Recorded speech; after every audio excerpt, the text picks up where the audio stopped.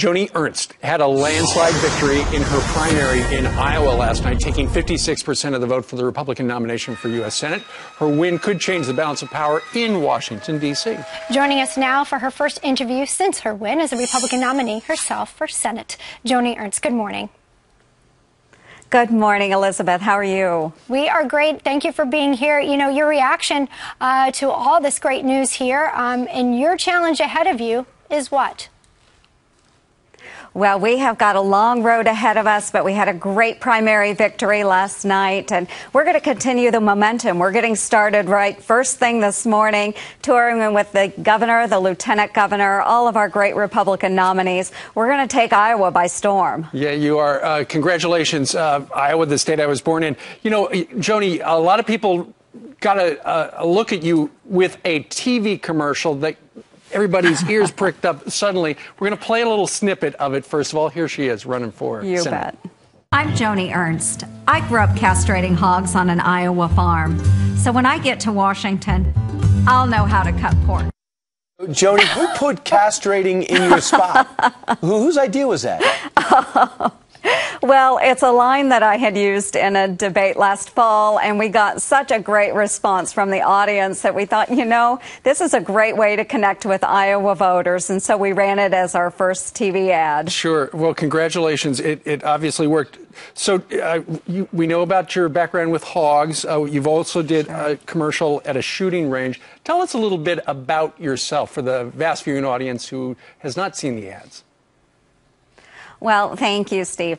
I did grow up on a southwest Iowa farm, went to school at Iowa State, participated in an agricultural exchange to the Soviet Union, saw how they lived over there, and when I returned to the United States, I decided the way I can give back is to serve my country. So I did join Army ROTC, was commissioned as an officer after college, and now serve in the Iowa Army National Guard and the Iowa State Senate. So, if you were uh, in there as a senator right now, and you were going to get briefed tonight at five o'clock, what would you? What question would you have uh, for the Obama administration about the prisoner swap that we're all talking about today?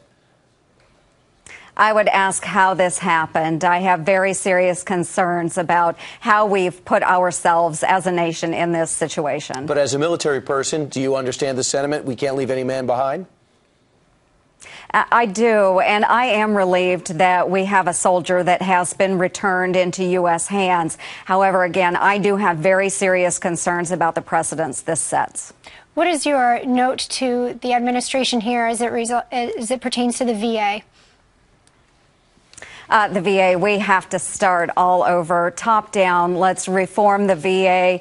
Uh, our veterans have fought very hard for us, and as a service woman who has served overseas in a time of war, I know uh, the sacrifices our men and women face every day. We need to care for them as well as they have cared for us, and we have got to do something immediately. Yeah, uh, uh, Joni, it looks, you know, for people looking in, you look at Washington, D.C., the House passes a bunch of stuff. It goes over, it lands on Harry Reid's desk. Nothing ever happens. It's all gridlocked up. If you are elected U.S. Senator from the great state of Iowa, what legislation would you like to personally go ahead and shepherd through Congress to uh, change the way America works? Well, I think absolutely we have to have a balanced budget amendment, and I would work very hard for that. Uh, we can't spend more than we take in, and just the way I learned growing up in southwest Iowa, you can't spend more than you have. So we really do need to focus on a balanced budget amendment. Let's live within our means. Um, let's make this happen.